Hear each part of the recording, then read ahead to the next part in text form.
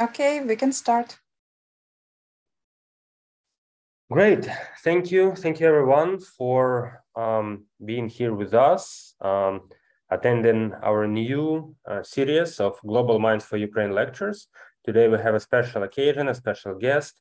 But before we start this lecture, let me just say a few words about what is happening right now um, in Ukraine. We just have received this news that the Zaporizhia nuclear plant uh, has been occupied for for a while. Uh, nevertheless, there will there were some new advances. Um, I believe that this is perhaps the first case of nuclear terrorism in, in history, at least recent history, uh, which is of course unacceptable. Uh, and um, I believe that this 30 kilometer zone around the nuclear power plant should be recognized as territories where it is forbidden to place military equipment, manpower, and the flight of missiles is should be excluded from the 30 kilometer zones. Unfortunately, this is not the case as of now, which has caused some uh, new uh, terrible risks. Today at about 12 noon, as a result of hostilities in the area of the Zaporizhia uh, nuclear um, uh, power plant. Uh, the overhead line was disconnected, so which caused units number five and unit number six eventually to be disconnected from the network with a subsequent tripping of the emergency protection. Um, we did not plan it. It just um, serendipity. It's a coincidence that uh, today we have a lecture which is very relevant uh, to put uh, this um, event in the broader context. Uh, we have a guest, uh, Dr. Uh, Togzhan Kassenova. She's a Washington, D.C. based senior fellow with a project on international security, commerce, and economic statecraft. From 2011 to 2015, she served on the UN Secretary General's Advisory Board on Disarmament Matters, and she's the author of Atomic Steppe, How Kazakhstan Gave Up the Bombs. So she's a real expert on the issues of nuclear security and international affairs. She, and today she will give you uh, some uh, insights uh, you know, about what constitutes nuclear and radiological security, the differences between nuclear and radiological material and respective vulnerabilities, and international legal framework on nuclear and radiological security.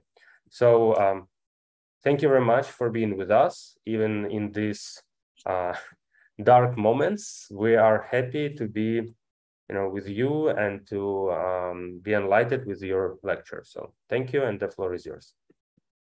Thank you, Timofey. Um, I just want to start my remarks today by expressing my full solidarity with Ukraine and the people of Ukraine. Um, and I just also want to say how impressed I have been with the academic community, and um, I think it's an it's an incredible manifestation of resilience, which we observe in so many ways from Ukraine. But the fact that the the education process is going on uh, is really uh, remarkable. And I'm just grateful for the chance to to be part of this process and make my small contribution.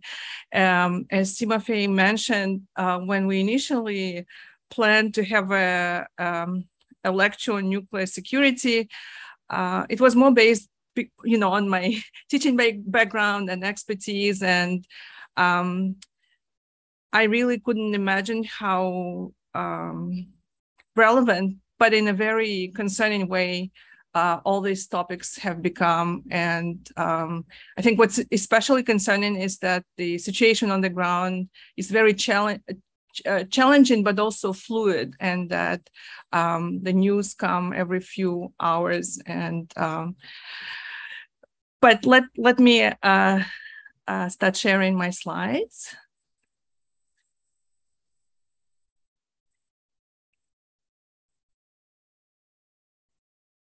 So I thought that today uh, I'll um, I'll start with describing uh, the difference between nuclear and radiological material and explain some of the vulnerabilities to, to give uh, the audience some foundational uh, knowledge. And we'll also specifically talk about nuclear power plants and what were what have been historic safety and security considerations when it came to nuclear power plants. I'll also briefly, and I'll try not to bore you, but I think it's important that we spend a little bit of time on international legal instruments and see what's what might be relevant to today's situation. And finally, um, I will talk about the one of uh, several nuclear angles of Russia's war against Ukraine, and we'll talk specifically about the situation with the nuclear power plants. I'll preface by saying, please don't be alarmed by the technical sounding topic of my presentation. I'm not a scientist, not an engineer. I'm um, uh, a, a, political, a policy person. So I'll, I'll, I'll make sure that um, it's not too technical. And, um, and I hope that um, it will be easy to access, but also I'm really looking forward to your questions. Please feel free to interrupt me and ask questions in the chat or uh, during afterwards during the Q&A session. So let's look at nuclear material first. Why do we worry about it? So the main reason we worry about nuclear material is because it's nuclear material that you need to create a nuclear weapon right? So if you have a state or maybe a non-state actor, a terrorist group, for example, and if you combine that with a desire and capacity and access to nuclear material and technology, then you can get a nuclear bomb. So one of the main um, challenges or objectives in the nuclear policy field in the of the non-proliferation regime is how to make sure that this connection doesn't happen, that there is no access to nuclear material and technology for uh, illegal weapons purposes. And if we look at the process of creating a nuclear weapon, um, and um, sorry for my very simplistic graphic, but I, I, was just trying to convey that if, for example, the process of, of a nuclear weapon, we look at it as a, as a linear process, then the the component of producing nuclear material is one of the more one of the hardest most challenging technologically uh, parts of the process. So once you get material whether you were able to produce it or you stole it or illegally obtained from somewhere you are very advanced towards your goal of um, having a, a nuclear uh, device or a nuclear weapon there are two main um, categories of nuclear material that are usable in a nuclear weapon. And these are highly enriched uranium and plutonium. Okay, so let's look at highly enriched uranium first. And um,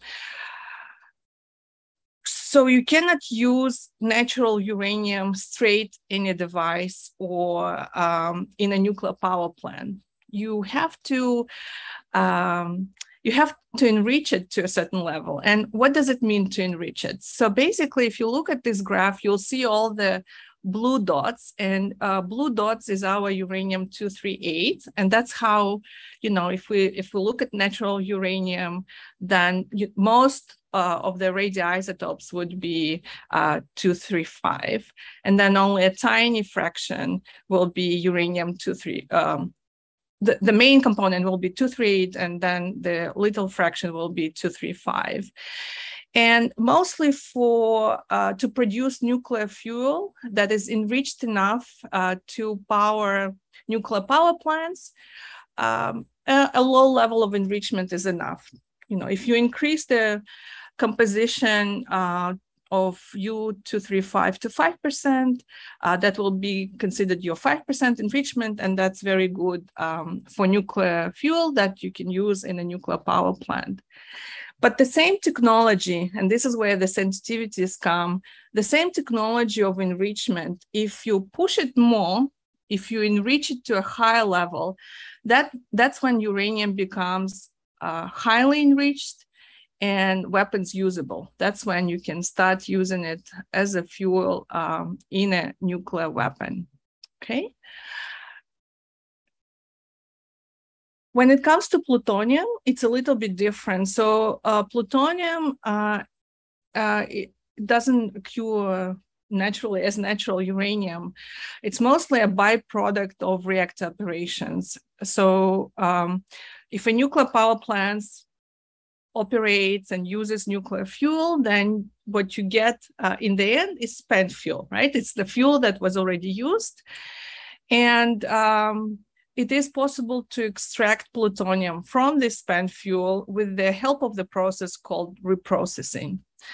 So without going into you know any technical details because we don't need them, I just want to point out that from the non-proliferation view, these two types of processes, enrichment of uranium and reprocessing of spent fuel, are considered to be sensitive and they're considered to be sensitive exactly for this reason that from these processes you can get access to material that can be used in a nuclear weapon. Okay. So to recap, for nuclear weapons, highly enriched uranium and plutonium. It's very important to know that nuclear material and radiological material are not the same. So uh, let's look at radiological material now. The, the interesting thing, I guess, of about radiological material is that while you know, general public is of course very concerned with anything that has the word radioactivity and so on. Um, we actually need it in our everyday life for very good, peaceful purposes.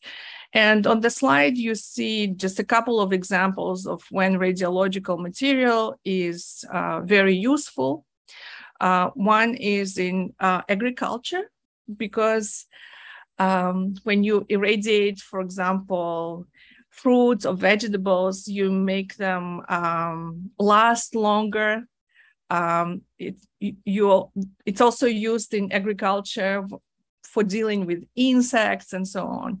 But even more importantly, radiological material is very important in the medical field, uh, both for diagnosing different diseases because when you they, when they make you um, ingest small quantities of radioactive material, it kind of lights up and, and and the doctors can can see they can diagnose what's happening inside. Or you know of course as we know for uh, cancer treatment um, radiological material is also extremely useful and, and necessary. And noting that we need radiological material in everyday life, it makes it very different from nuclear material because uh, it's much more common in everyday use.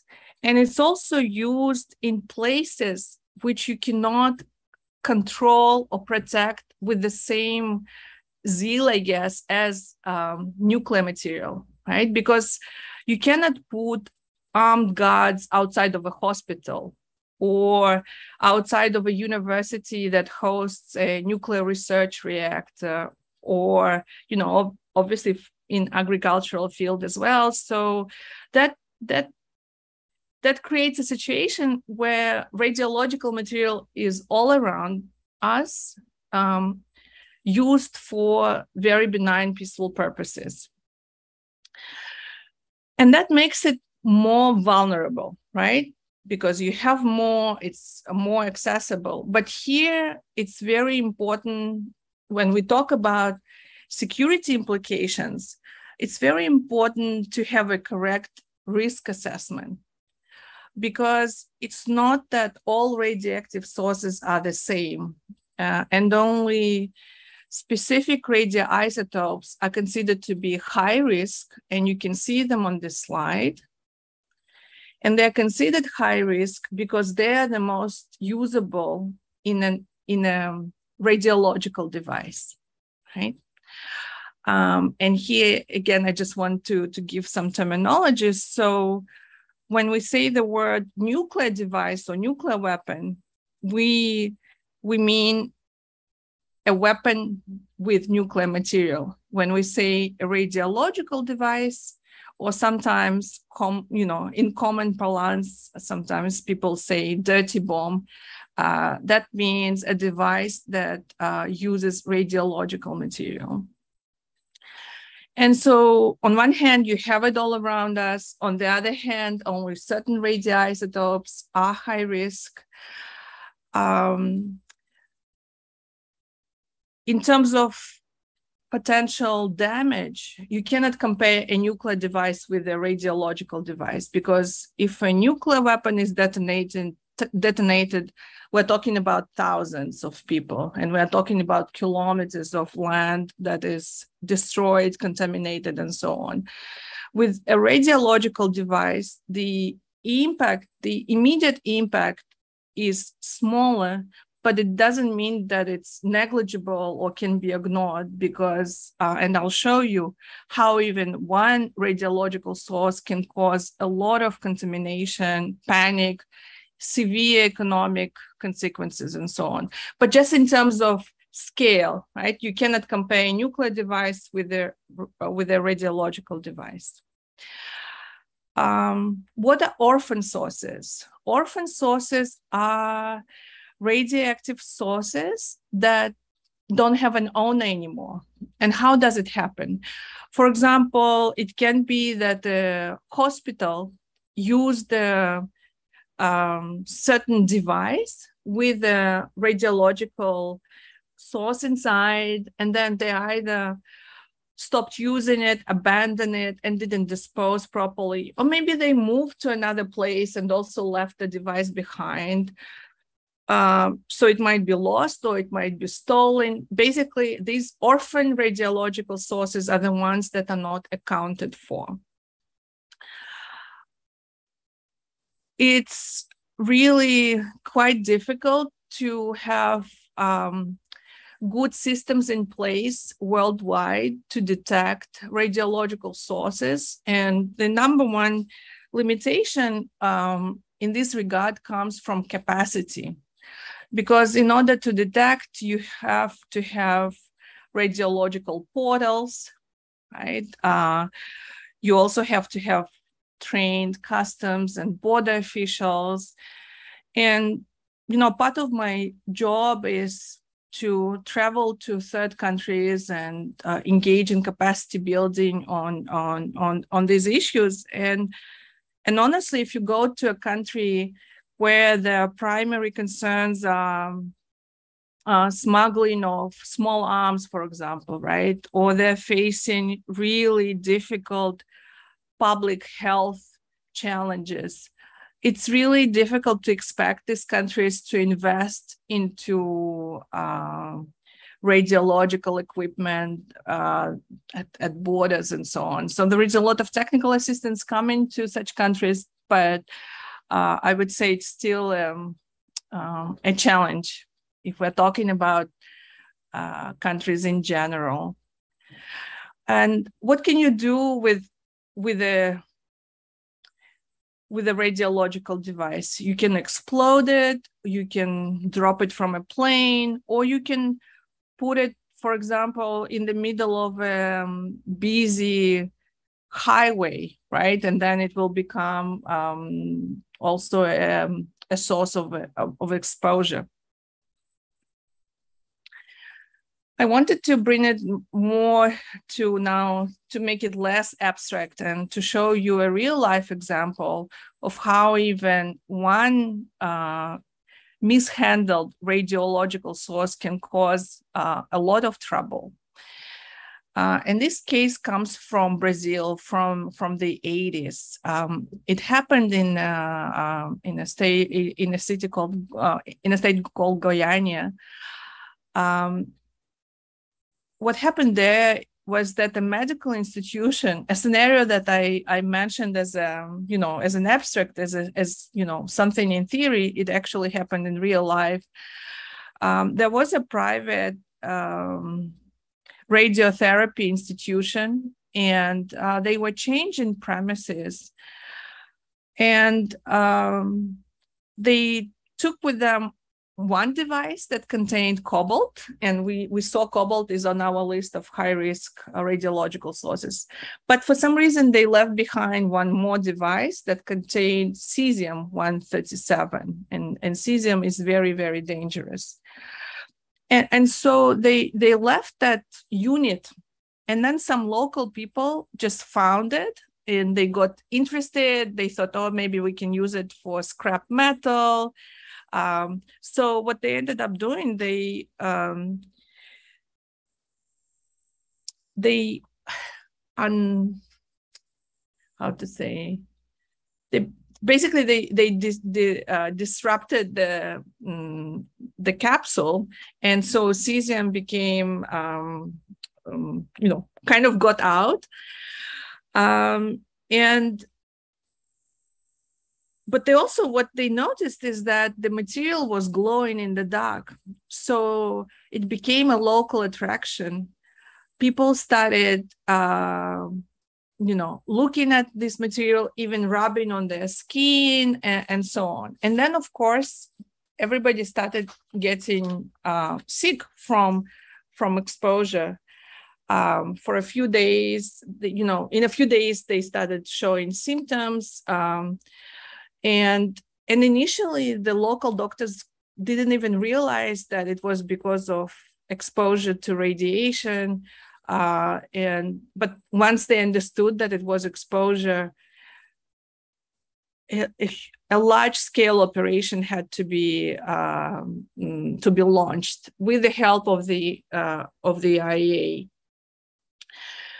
And to give you a sense of the of the scale, they had to use a stadium to put people there in order to check uh, local population on who was exposed and who was not.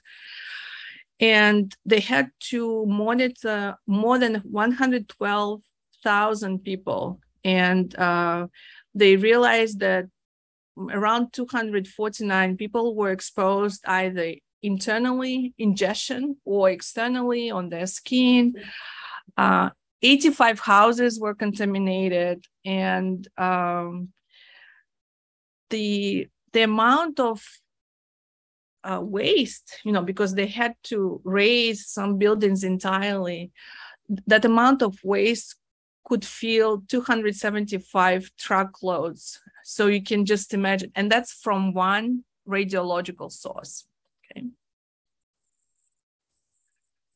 so let's kind of look at the state of play if we are to compare nuclear and radiological material. Um, so with nuclear material, it's obviously very high risk, right? And but it's um, it can be found in very few countries.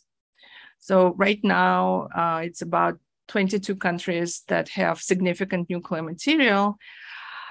Um, and you can see the, the total numbers on the slide on the left side. And uh, most of this material is, uh, is in countries that have nuclear weapons programs.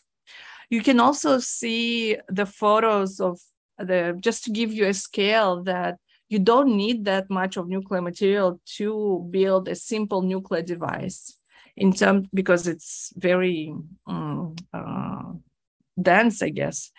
So, for example, the amount of HEU needed to build a simple nuclear weapon would be equivalent to a, a you know, a regular bag of sugar. Uh, with plutonium, it will be the size of a grapefruit. And worldwide, uh, we have tons and tons of highly enriched uranium and plutonium, and in addition to 14,000 nuclear weapons that already exist in the world, with the material that is available worldwide, you can you can build another 20,000 word 20,000 uh, nuclear bombs. But look at the um, at the um, percentage of nuclear material, you can see that 83% of it is in military stocks and 17% is in civilian stocks. And uh, and here, you know, on one hand, um,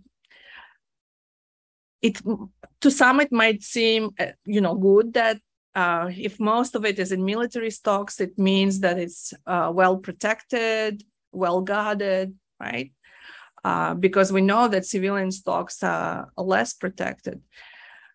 But the problem with the military stocks is that nobody from the outside can say anything about how the certain country is managing its nuclear material. So there are no international instruments that would be dealing, for example, with the security of nuclear material that is in military stocks. For radiological material, as we discussed, you can find it almost in every country in the world, but only a few are considered to be high risk. Uh, I wanted to show you a little bit, you know, what's the, um, you know, like what's the risk in terms of numbers and the international atomic energy agency it runs a, a database and the, they stopped publishing the the actual numbers um, the the latest that uh, can be found in open source are from 2019 but you can see the numbers on the screen right and I think on, on the first glance, it's really scary that we have more than 3,000 cases. Uh, but if you look a little bit more attentively, you see that uh, most of them actually involve radiological material and most of them are not malicious, right? It's not that somebody specifically wanted to do something wrong. It's mostly that the country cannot account for them um, and, and, so on. But having said that, you know, there were cases that involved uh, highly enriched uranium. And of course, it's still really concerning that um, trafficking is happening. Um, another important thing to know about this database that it's completely voluntary. So it's what the governments reported to the IAEA, right? So we cannot be sure that that's the that's full information. I wanted to give you some cases of when um, security was breached, and these cases involve nuclear material. The first case comes from South Africa, and uh, maybe some of you know, but South Africa had a nuclear weapons program.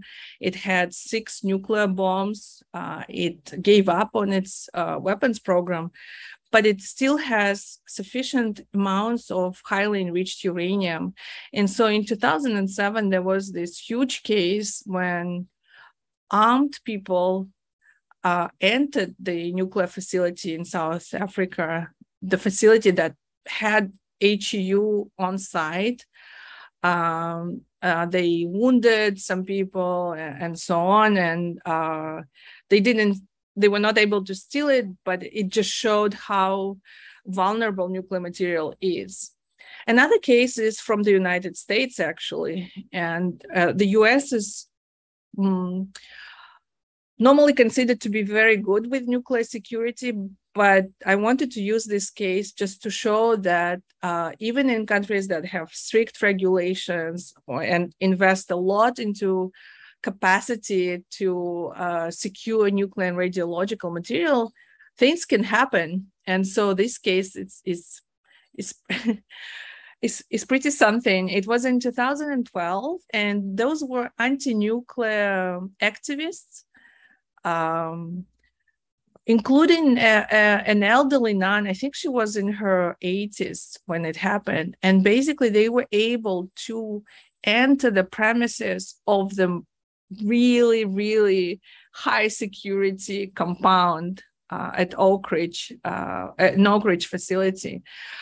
And uh, this happened because of a combination of uh, things that went wrong, including the fact that security, perimeter security was outsourced to third companies and they were, I think, working on alarms or something. So there was, yeah, for some reason, the, the the security didn't kick in, but also when um, guards saw the nun, they assumed that, you know, like that they looked benign enough and they didn't shoot, right? Uh, but again, even though in this case, these people were not after nuclear material, they were more just anti nuclear activists, it showed the vulnerabilities even in highly secure sites. And, you know, with all of that, with nuclear material and radiological material, the worry is that, and historically, it was really mostly about non state actors that somebody, uh, a determined group, can get access to nuclear or radiological material and then create an incident right? And uh, in the past, for example, ISIS and Al Qaeda expressed desire to acquire weapons of mass destruction. Um, in 2016, for those of you who remember, there were terrorist attacks um, in in Paris when they simultaneously attacked several uh, sites, and then later on, it became known that one of the suspects in Paris attacks um, he had footage of surveillance of a Belgian nuclear official. And why it's worrying? It means that for some reason they were monitoring this person. And why it's dangerous? It's because maybe it could have been used then for uh, blackmail, right? To make this person give some information or give some material or something. And it just showed that uh, in terms of motivation, we definitely know that uh, some groups might be after uh, after weapons of mass destruction. So let's now go to the next section and speak, uh, talk specifically about nuclear power plants. And um, you know how, I don't know in Ukrainian whether the word uh, safety and security is the same, because in Russian it's the same word, безопасность, right? And in English, these are two different words. So in English, I just wanted to, to, to, to point out that safety refers to accidents. It's something that is not deliberate, right? It's something that happened because of nature or human error. And security, it's more about deliberate attacks um, when somebody somebody deliberately wants to do something, but the the end result or the worry about both is radioactive contamination, right? Whether it's because uh, something natural occurred, some natural disaster, or because somebody attacked a nuclear facility. Why we worry about both is because of the uh, contamination. Right? And that there are many vulnerabilities that nuclear power plants uh, face. I just I, I want I wanted to put the the the main ones. And uh, and you'll see how what i'm saying now in terms of just general education is relevant to uh, ukraine when we come to the cases of chernobyl and zaporozhye. So the main categories of vulnerabilities for nuclear power plants historically are considered natural disaster or accident physical attack. And you know here we mostly think about non-state actors sabotage, insider threat, uh, or a cyber attack. And it's interesting that, uh, you know, for safety and security, often the same measures can help each other. Uh, for example, um, the fact that you have redundancy, redundant safety features, right? That contamination cannot occur because of just one wrong step, that there should be several before there is contamination. it's also helpful for security, right? Because if somebody wants to do something wrong, they will have to do several steps. Um, but there are also sometimes uh, measures that are a little bit at tension with each other.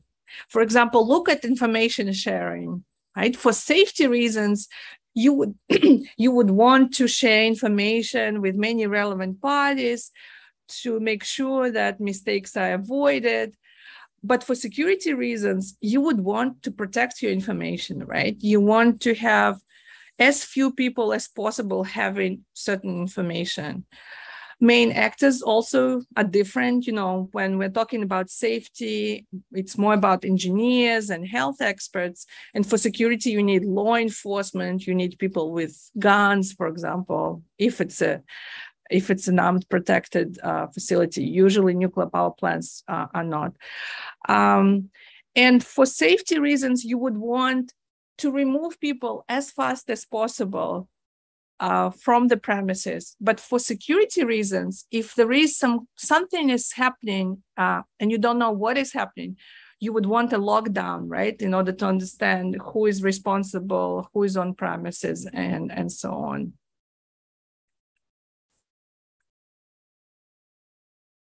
So you know, again, it's in very basic terms, but um, let's look at general components of a nuclear power plant and see what kind of uh, vulnerabilities um, we, we're talking about.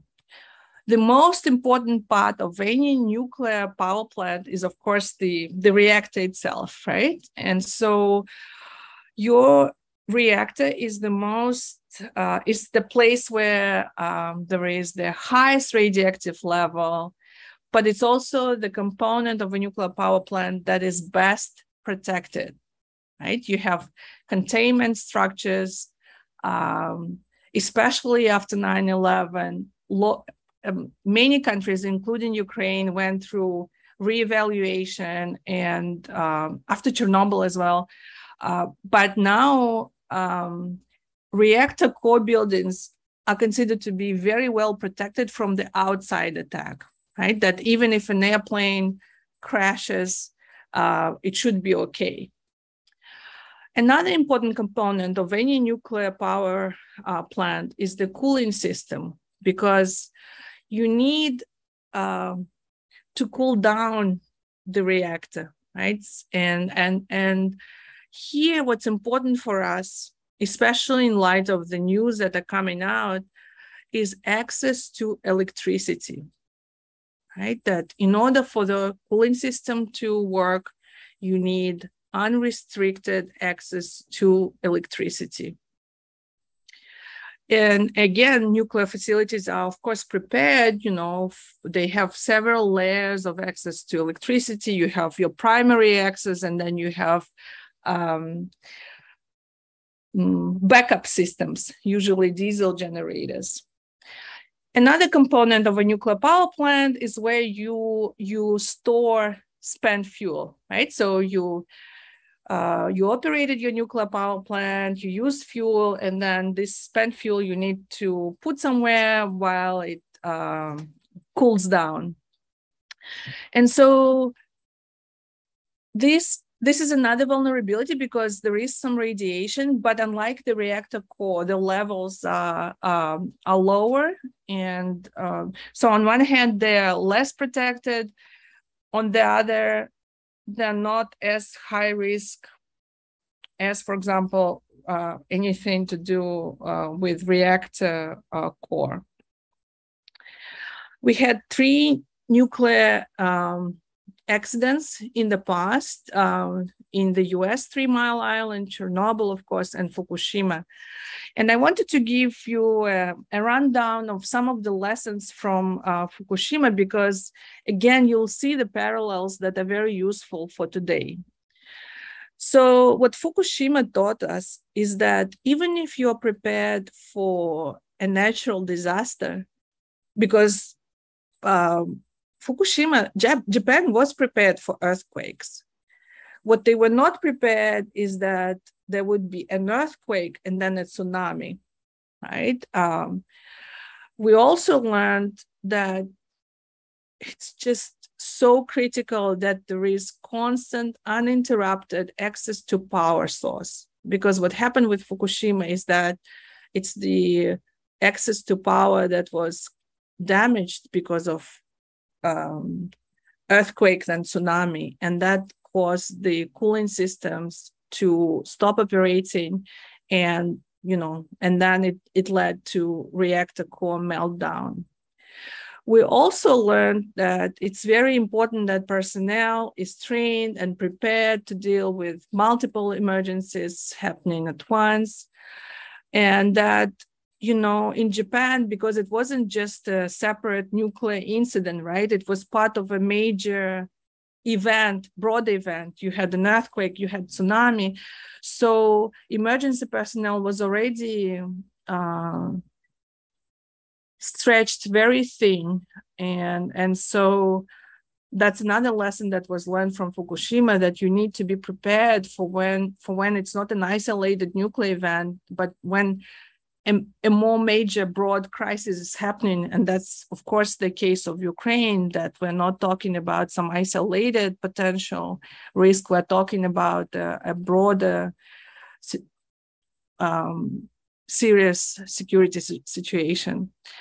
Fukushima also showed us that um, any delays in terms of information, what's happening on the ground, and this information not being shared on time with regulators or regulators not sharing their information directly with people on the ground, that it really can be very uh, detrimental. That you always need to have these clear, clear lines of communication between regulators, operators, and everybody everybody involved. Again, very directly relevant to Ukraine right now. And of course, the preparedness of local population, right? That you need people to, to know what they're supposed to do, uh, basic safety precautions, and so on.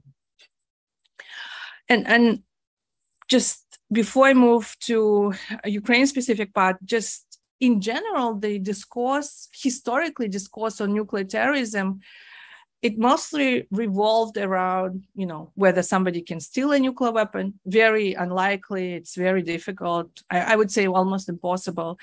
Construction of a nuclear weapon it is possible if you get uh, access to nuclear material. Damage to a nuclear reactor facility.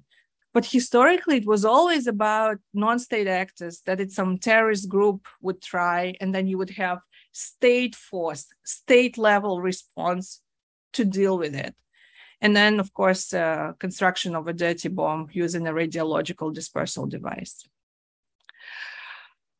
There are some international instruments that are relevant to nuclear safety and security, to nuclear safety, or just nuclear security. Um, I would just mention that the only legally binding treaty uh, that is relevant to nuclear security of nuclear material, uh, civil nuclear material, is the Convention on the Physical Protection of Nuclear Material. For anybody interested, um, you can then, you know, later you can research a little bit more. Um, there is also this international convention on the suppression of acts of nuclear terrorism, but again, it's always the the discourse has always been about mostly non-state actors. Um, what about attacks on nuclear power plants? What do we have in terms of international law?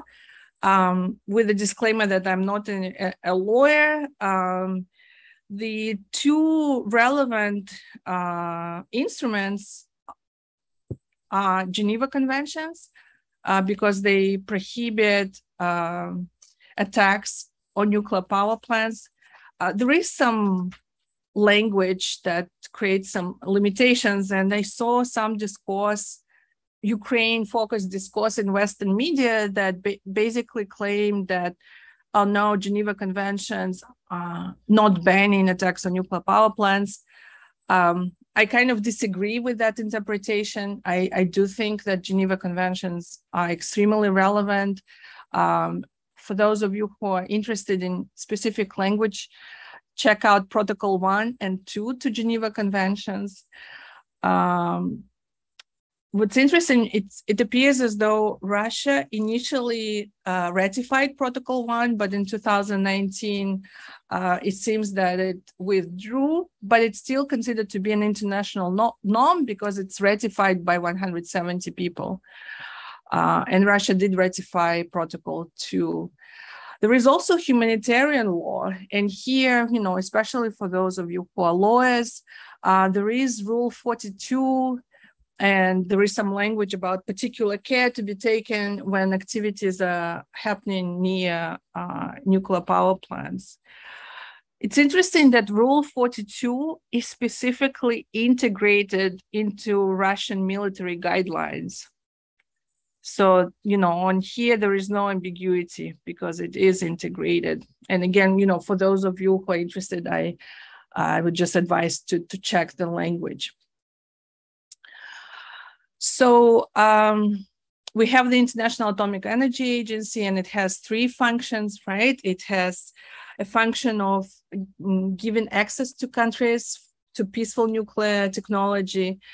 It has um, responsibilities for setting uh, standards for safety and security. And also the third function is safeguards. And basically safeguards, it's more that the country doesn't misuse nuclear material that it has, doesn't convert it from peaceful uses to military use. And here, you know, we're coming to our Ukrainian component. Component. Uh, have a look at what the uh, what Rafael Grossi, the head of the IAEA, said in March 2nd, right? He reminded about seven pillars of nuclear safety. And it's about physical integrity. It's that all equipment should be functional. It's about that the staff shouldn't be under pressure, right? That there should be uninterrupted supply of uh, components and so on. And look at the language from the IAEA update from August 6th, here we already have a strong statement basically saying all pillars have been undermined uh, in one way or another. Uh, he also just recently um, uh, spoke in New York. And there, again, the language was very forceful um, that uh, these pillars have been undermined. Um, so for Chernobyl, um, you know, of course, everybody was so worried about Chernobyl. Um, and but just for, for now, you know, because um, because Russian military withdrew from from there, this is you know it's now taken a backseat. But back at the time, you know, obviously everybody on on the outside was very worried. What was happening in the kind of on the outside the nuclear policy community my colleagues the way they were following that i think they were trying to provide a more nuanced information on that or noting that it's just so hard to understand what's truly happening on the ground. But uh, mostly uh, my colleagues, especially those with more technical training, they would just explain uh, that you know these these parts of news are less concerning than the others, and and and here you know mostly what was happening that um, a lot of dust that was still contaminated uh, was disturbed, right, and so you had uh, some elevation of uh, uh, radioactivity levels uh, because of all this dust. Uh, but it wasn't something that was too, you know, of immediate health concern. Zaporozhye is another, like it's it's on another level, and I I'm I'm personally extremely worried, especially because it's such a fluid situation and um, really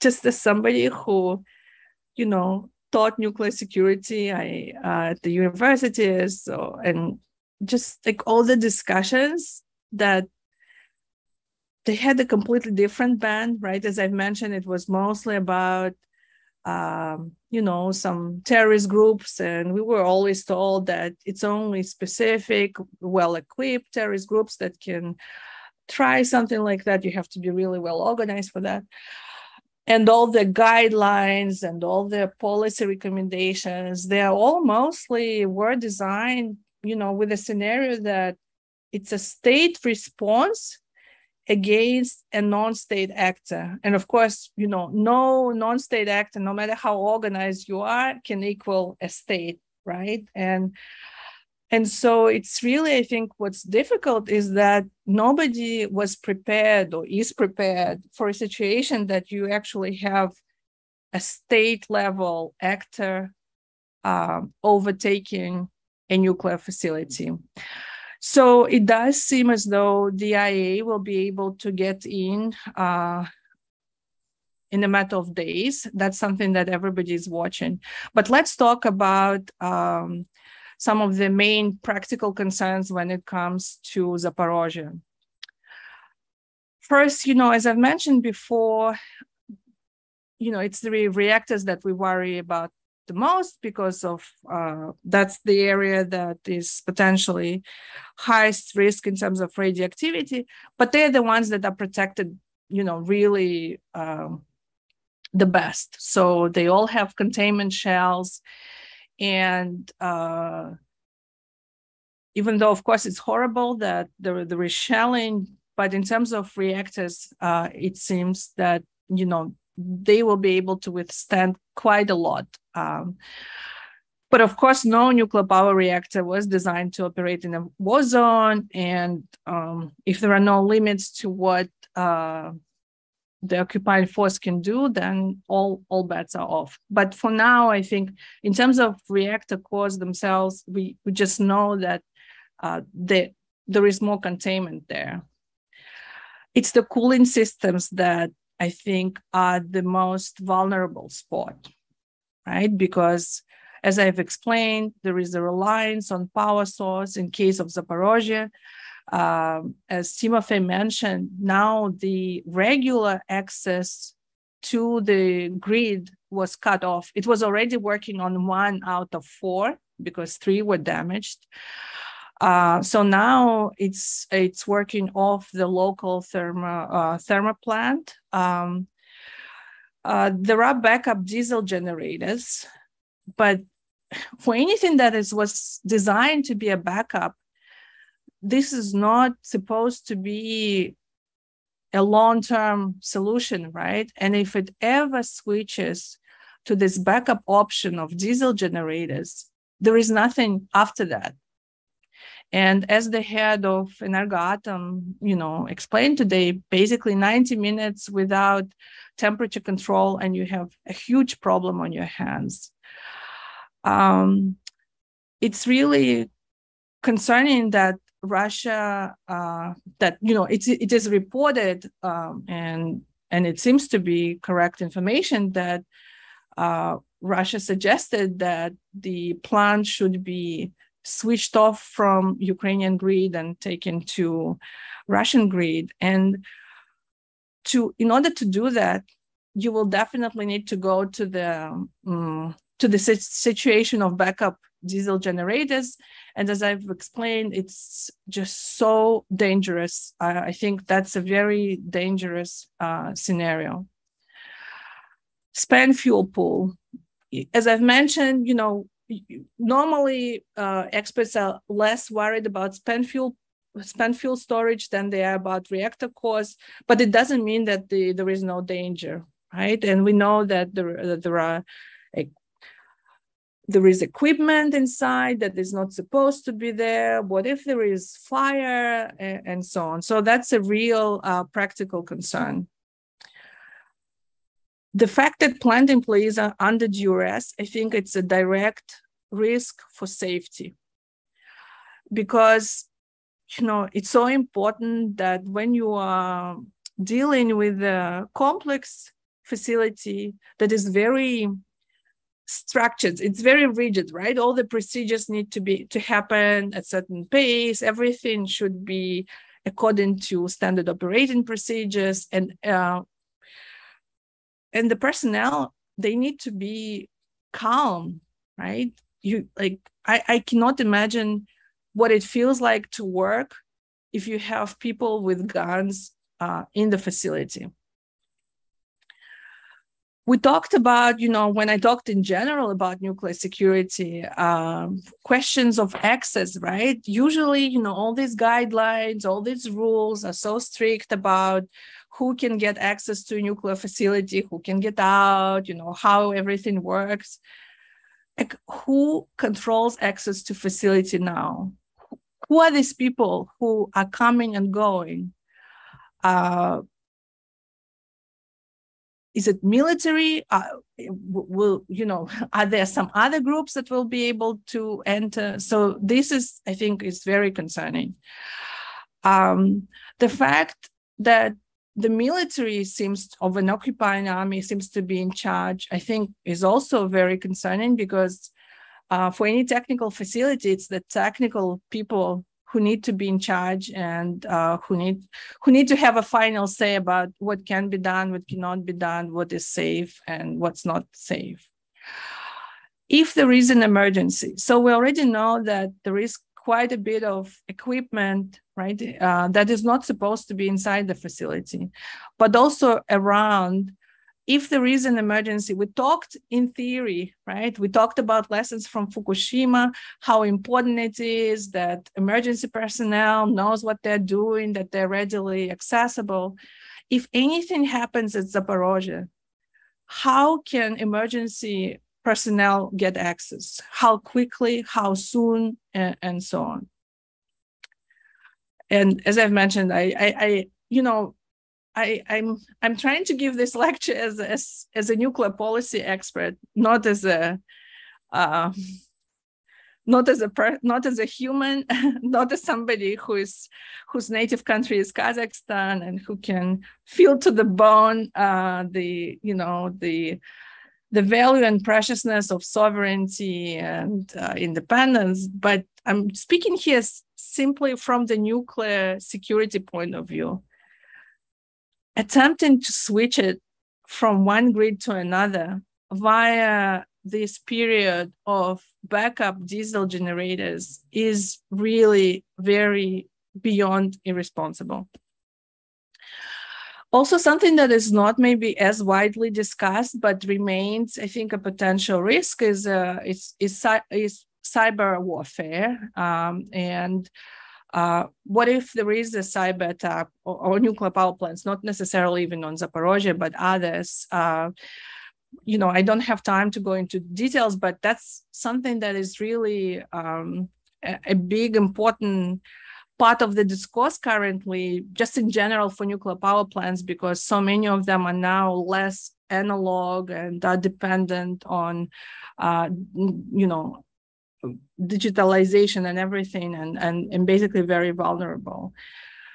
So with with all of that, and again, just you know, as somebody who lives in DC, I want to give you a sense of how people on the outside talk about all of this those who work on nuclear security and basically they go through all the different scenarios and risks and vulnerability and then they kind of um, maybe it's a, a, protection mechanism they're basically saying but it's not in russia's interest. That would be completely against the interest. There is no point and it's just too dangerous for for russia itself.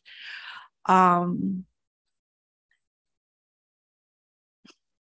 but unfortunately, I don't think that it's a strong enough argument um, based on the last six months. I, I, don't think it's something that you know everybody can rely on that uh, Russia wouldn't do something that is against its own interest, and and so these are the practical, specific uh, uh, concerns. But there are also there is this very important political angle to everything that we're discussing. It's the first time one country controls a, a nuclear facility of another country, and as I mentioned, I think the the international community is completely unprepared for this kind of scenario. Um, there is fog of war, there is lack of access by the IAEA, and I think it's really uh, difficult because nobody knows for sure what is happening. Um, I also think there is just such an important relevance of this situation to the question of Ukraine's sovereignty. And it starts from you know it might be more of a procedural question right? But i do think it's important you know when the IAEA inspectors come um, do they come through russia controlled territory or not? Um, you know i only briefly mentioned safeguards um, and it's a very political area of, of, of the nuclear field, and it's Ukraine that signed the safeguards agreement with the IAEA. It's Ukraine that is in charge of making sure that its nuclear material is not uh, misused, and it's Ukraine's promise and obligation to the IAEA. And now we see that uh, because of the invasion, uh, Ukraine is not in control of, uh, of its own uh, facilities. Then, of course, the control over power supply, right? That uh, who controls energy controls the country and and especially noting that Ukraine is so dependent on nuclear power. Um, from what I understand, almost half of electricity comes from nuclear source, which makes it also a practical has practical implications because it's not that Ukraine can easily just shut everything off and it not not to say that it's easy to shut it off but just also in in general in terms of energy security and so on and and finally i just wanted to leave you with the you know what's also happening right now uh, in the world of nuclear politics. So in, in new york as we speak the nuclear non-proliferation treaty review conference is drawing to a close. And just a couple of hours ago the draft final document was released. And uh, it has several references to ukraine I don't know what will remain in the final document because it's the draft document, but it's interesting, and I just wanted to like to to give you a, a feel of uh, what at least appears in the draft document. So there is um, emphasis on safeguards, saying that you know Ukraine uh, uh, that the Ukrainian authorities uh, should have access to their own um, facilities for safeguards reasons, um, because it's very important to ensure non-diversion of nuclear material.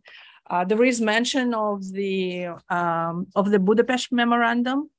Uh, they don't, um, yeah, they don't say Budapest memorandum. They use the formal name. They say uh, there should be full adherence to of all nuclear weapon states to all existing obligations uh, that they've given uh, under the memorandum on security assurances in connection with Ukraine's accession to the NPT. Um, there is also an important part which I hope remains in the final document. It says the conference stresses the paramount importance of ensuring control by Ukraine's competent authorities of nuclear facilities and other locations subject to the IAEA safeguards. As I mentioned, you know, we'll see what remains. Um, it's highly political, the you know what's happening there, uh, but we'll see. There is no direct mention of uh, Russia in that context. Uh, so you can see all Ukraine relevant parts, uh, you know, they're focused on Ukraine. So, okay, I'll stop here because I already talked to, to Lon um, and I'm happy to, to take questions. Mm-hmm. Sure, thank you. Thank you very much for this uh, excellent um, overview and your lecture. Um, you know, it was also interesting to me that, you know, in the very beginning of our meeting, I was a bit emotional. I said something about Russian being a terrorist, uh, nuclear terrorist state.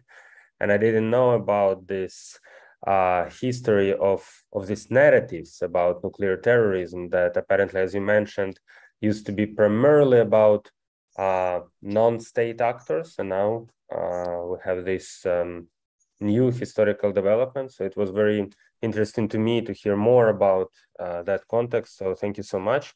And uh, I will read out loud some questions because uh, mm-hmm. there are some um, are already gathering in the Q&A chat. I will uh, read them so everyone knows what we are talking about.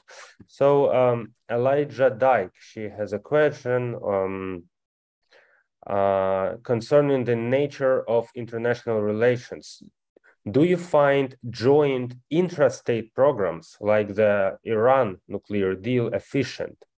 Are they capable of deterring states from enriching uranium through passing cycles of foreign policy and ever-changing power balance? So, if I understood correctly, it's about whether Iran can be deterred from a weapons option, but have a peaceful program.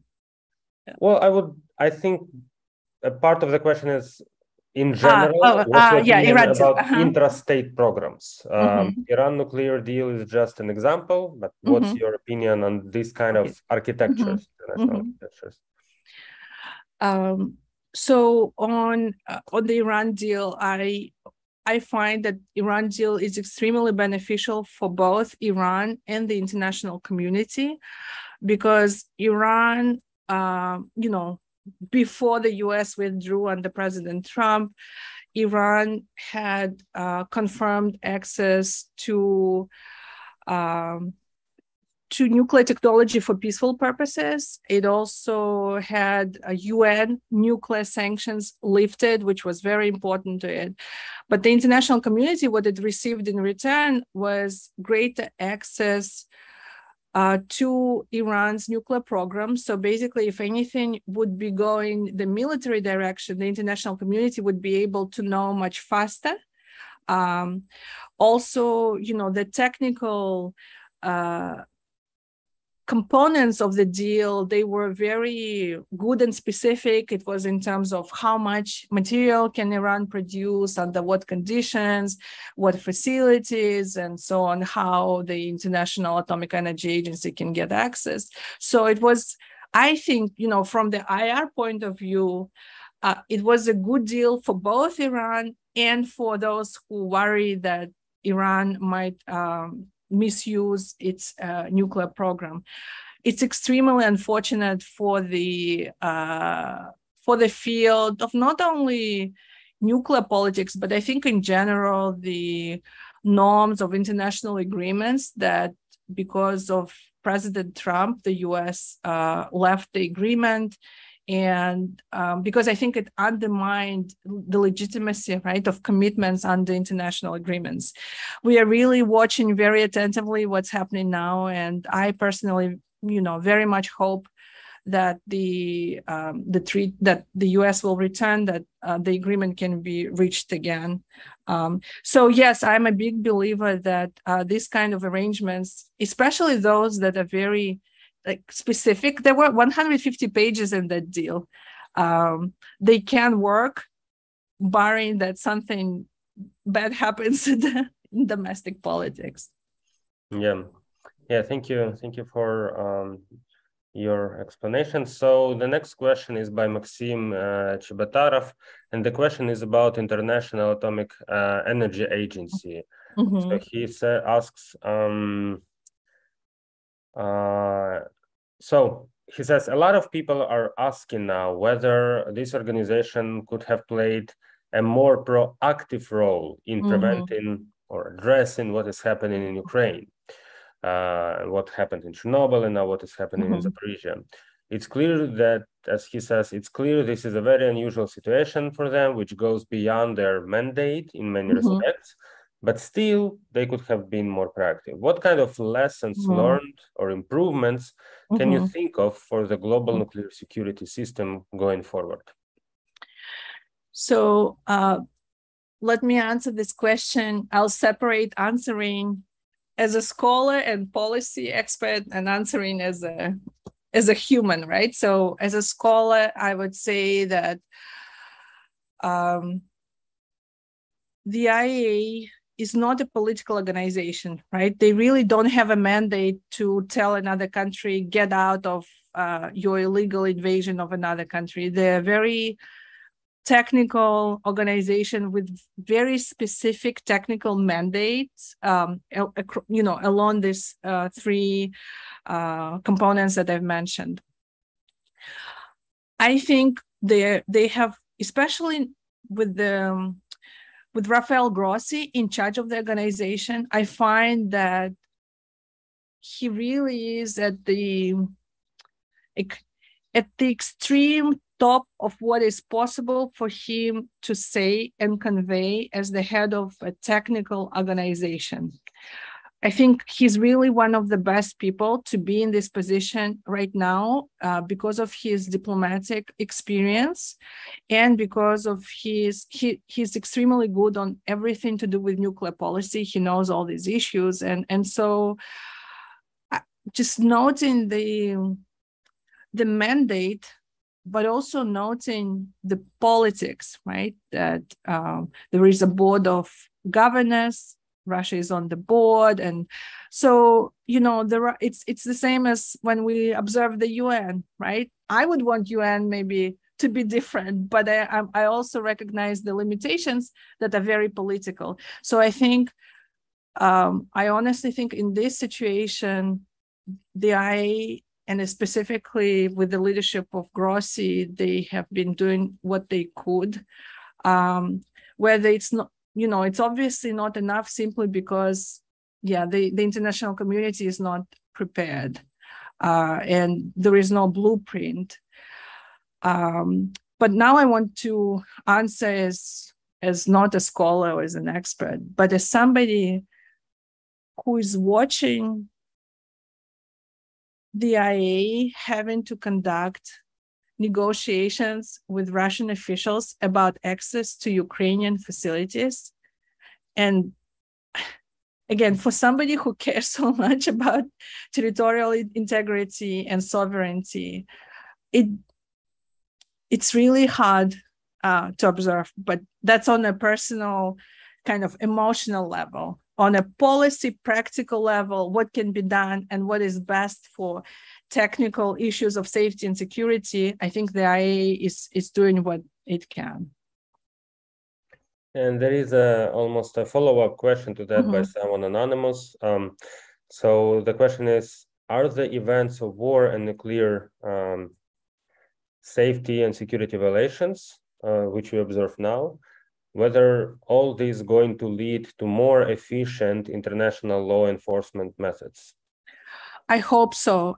There is already, you know, a very robust discussion in the nuclear field that like, clearly nobody's prepared. Uh, that we need to think about these kind of situations as well, uh, including on on practical levels. As I've mentioned, all all the safety and security um, SOPs were developed more with certain risks in mind. And uh, I think there will be a lot of reckoning in terms of the uh, international instruments. I, I, think there will also be, I don't think like, this will impact interest in nuclear power, but I think it will, it will give a pause to some countries that are maybe considering right? Mm-hmm. Cooperation with Russia on civil nuclear, uh, uh, in the civil nuclear field, both because of sanctions, because Russia doesn't have access to components, but also in general, I think.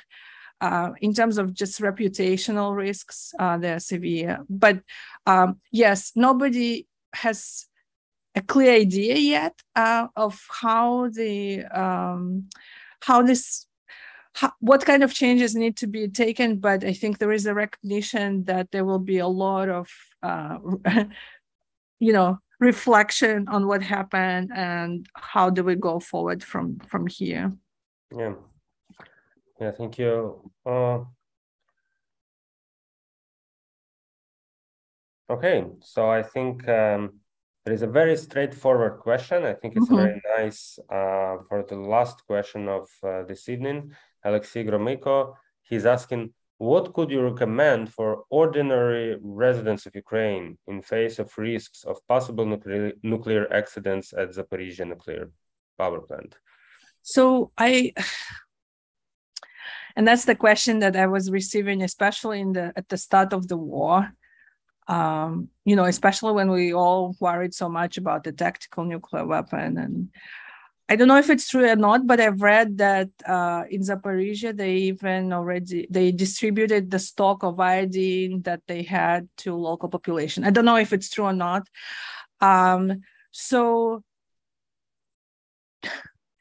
to be honest, I don't think iodine tablets will will help um, as much. I think if we're looking at the possibility of uh, of a very severe event, which I hope will not happen. Um, and I, I have faith that it won't. But I don't think anything except for truly moving far, far away from the site gonna help because you know um, the small precautions that can help to mitigate uh, uh, for example, where you are, right? Whether you are protected inside of a building or outside, what type of food you consume, uh, and you know where the wind blows that day, for example. But I think, you know, in reality, it's it's more about being as further away as possible.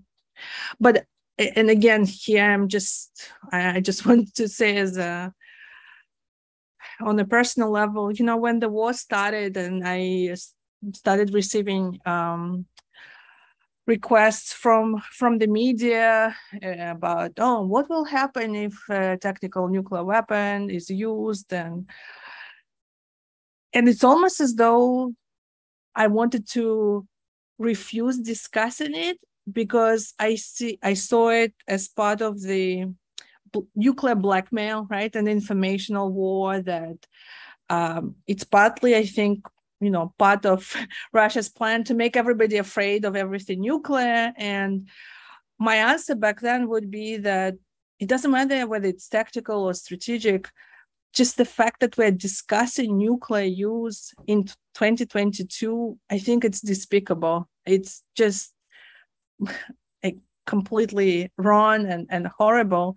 And and and similar with you know with uh, with a nuclear event that can be a, a, possibility because of a nuclear accident it's similar that um, you know there are practical things that can be done but fundamentally um, i think it's just plain wrong that we we're even faced with discussing it. So i just um, i hope the war will be over soon and that ukraine gets full control of all of its territory of all its nuclear facilities for the sake of Ukraine, but also for the sake of international community and international security. Thank you. Thank you for your answer to this question, but also broadly, you know, for your um, very interesting and informative lecture and your attitude and wisdom. So uh, we really appreciate that. And um, I also want to conclude saying that we look forward uh, to um, to host more guests. Uh, Global Minds for Ukraine uh, will continue um, its series, and we will have a few more guests in September and October, including Nobel Prize laureate um, Dr. Duflo. We are looking forward to her lecture in the fall. So thank you, everyone, and um, I look forward to meet you. Bye bye. Thank you. Bye, everyone.